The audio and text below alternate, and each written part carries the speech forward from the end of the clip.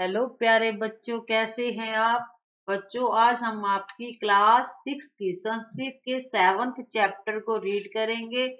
Chapter का नाम है बकस्य प्रतिकार।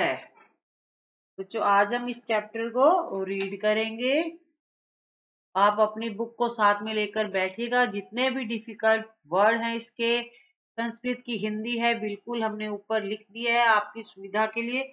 ताकि आपको इनका मीनिंग पता चल जाए। और जो इसकी हिंदी है बच्चों, पहरे की, हर पहरे की जो हिंदी है, वो नीचे लिख दी है। हिंदी देखकर भी आप अच्छी तरह से इसको कर सकते हैं। चलो बच्चों, पाठ को पढ़ना शुरू करते हैं। एकस्मिन वने श्रगाल है, बख है च निवस्थ है समय। तो बच्चों, एकस्मिन का होता है एक बार श्रगालय होता है गिद्दड़ या सियार और बकै बगुला। तो बच्चों, इसकी हिंदी बिल्कुल नीचे लिखी हुई है। एक वन में गिद्दड़ और बगुला रहते थे। त्योह मित्रता आसित उन दोनों में मित्रता थी। एकदा प्रातः श्रगालय बकम अवदत मित्र श्वय त्वम म्या सह भोजनम कुरु।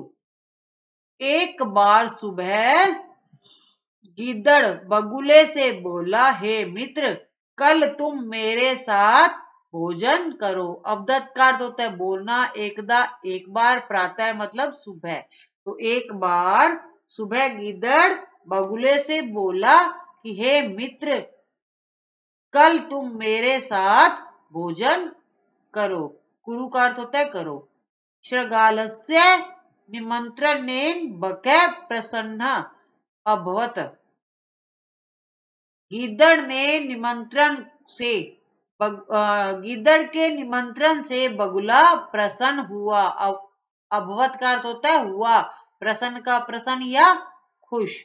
तो जब श्रगाल ने सियार ने बगुले को निमंत्रण दिया भोजन के लिए तो बगुला बहुत खुश हुआ।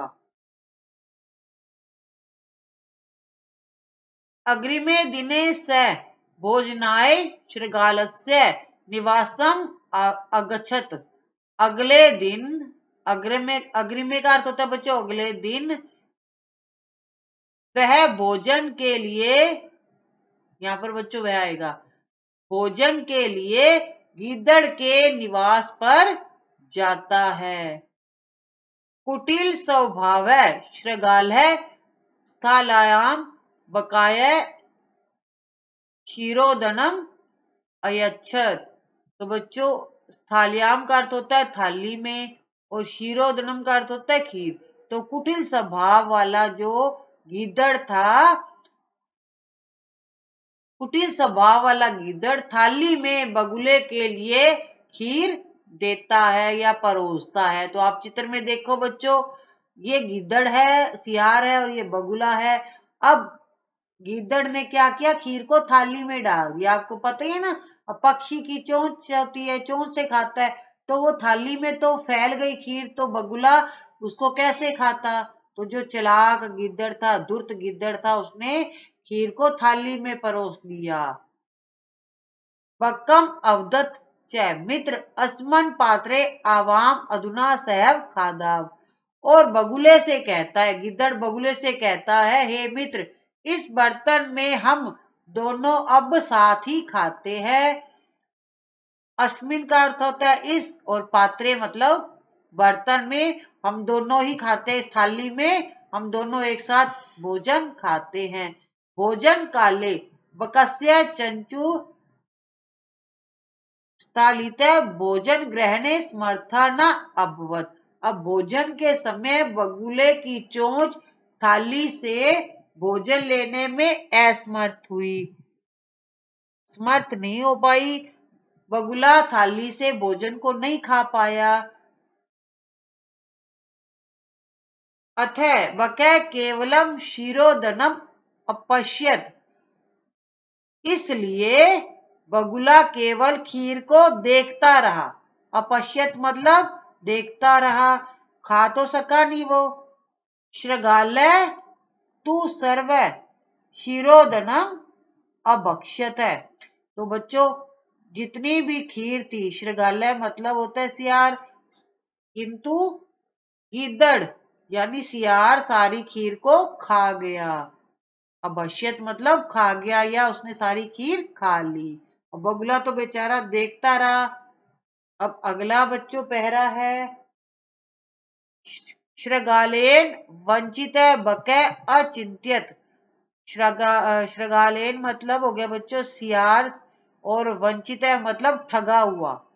और बके बगुला अचिंत्यत सोचा, अब सियार से ठगे जाने के बाद बगुला सोचता है, यथा अनेन म्या सह व्यवहार कृत तथा अहम कपि तेन सह व्यवहारिष्यामी एवं चिंत्यत्व। जिस प्रकार अब बगुल ने सोचा जिस प्रकार इसके द्वारा मेरे साथ व्यवहार किया गया है यानी सियार ने जो मेरे साथ व्यवहार किया मुझे खाना दी, नहीं दिया और मेरे साथ धोखा दिया मैं भूखा रहा सह श्रगालम अवदत मित्र तुम अपि सायाम म्या सह भोजनम करिष्यसी। अब उसी प्रकार उसने सोचा कि जिस प्रकार उसने मेरे साथ व्यवहार किया, मैं भी बिल्कुल उसके साथ ही वैसा व्यवहार करूँगा। इस प्रकार सोचकर वह सियार से बोला कि हे मित्र तुम अपी स्व म्या सह भोजनम करिष्यसी हे मित्र सायकाल, यानी शाम को मेरे साथ भोजन करना। पकस्य निमंत्रण ने श्रृगाल है, प्रसन्न अभवत अभवत। बगुले के निमंत्रण से सियार प्रसन्न हो गया कि उसको लगा कि चलो, आज मुझे बगुला भोजन के लिए बुला रहा है तो मैं भोजन के लिए जाऊँगा, वो खुश हो जाता है। यदा श्रृगालय साय पकस्य निवासम भोजनाय अगछत तदा बक संकीर्ण मुख कलशे शिरोदनम अयच्छत। शाम के समय बगुले ने उसके साथ क्या किया? जब सियार शाम को सायकाल बगुले के निवास पर भोजन के लिए गया, तब बगुले ने उसे छोटे मुख वाले कलश यानी सुराही में खीर दी। आप चित्र में देख सकते हो बच्चों, ये बच्चों सियार है, गिद्दड़ है और ये बगुला है। अब बगुले से बिल्कुल बदला लिया, ठीक है?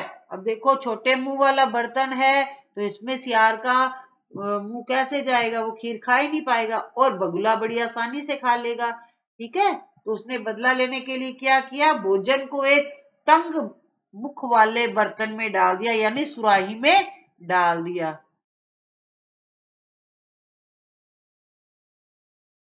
और श्रृगालम च अवदत।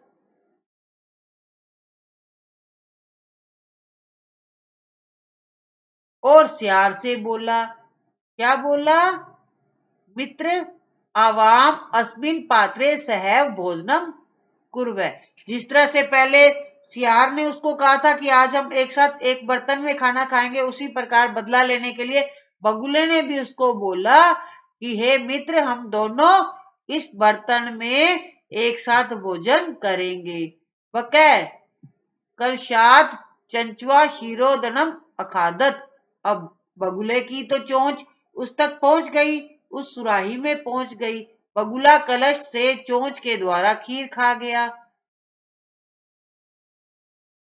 परंतु श्रृगाल से मुखम कलशे न प्राविशत लेकिन श्रृगाल का मुँह उस कलश के अंदर नहीं गया, उस बर्तन में नहीं गया। ठीक है? और सियार केवल उसे देखता रहा ईर्षा पूर्वक वो खीर को नहीं खा पाया। तो बच्चों, वो सियार खीर को नहीं खा पाया। अतः बक सर्व शिरोदनम अखादत। इसलिए बगुला सारी खीर खा गया। श्रृगालय च केवलम ईर्ष्या अपश्यत। और श्रृगाल, यानी सियार, केवल ईर्ष्या पूर्वक उसे देखता रहा कि वो तो खीर खा रहा है, मैं नहीं खा पा रहा हूँ। जबकि सियार ने भी तो बगुले का साथ बिल्कुल वैसा ही व्यवहार किया था। श्रृगाल है बकम प्रति या दृश्यम व्यवहारम अक्रोत बकै अपि श्रृगालम प्रति तादृशम व्यवहारम कृत्वा प्रतिकारम अक्रोत। तो बच्चों गिद्दड़ ने बगुले के प्रति जैसा व्यवहार किया था, बगुले ने भी गिद्दड़ के साथ बिल्कुल वैसा ही व्यवहार करके बदला ले लिया। ठीक है? उक्तमपि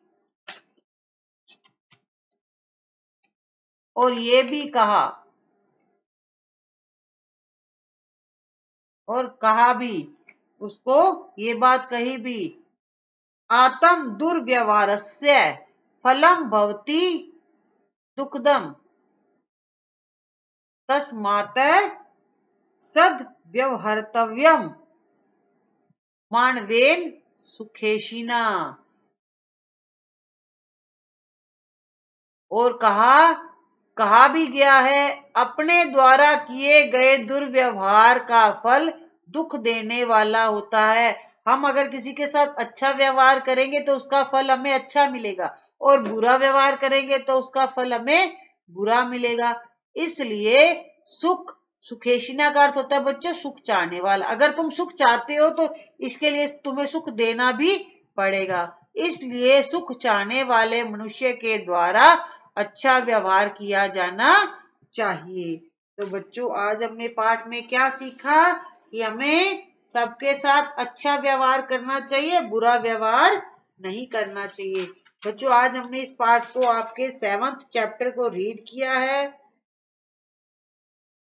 तो अगले वीडियो में इसके हम क्वेश्चन आंसर करेंगे। तब तक आप इस चैप्टर को अच्छी तरह से रीड करके रखिएगा। हिंदी हमने बिल्कुल नीचे आपको लिख के दे दिए और इसके जो कठिन शब्दार्थ है वो भी लिख कर दे दिए हैं। और वीडियो को लाइक एंड शेयर करिए फटाफट।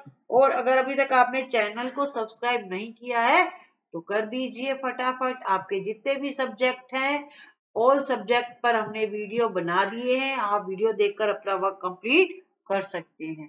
Thank you have a good day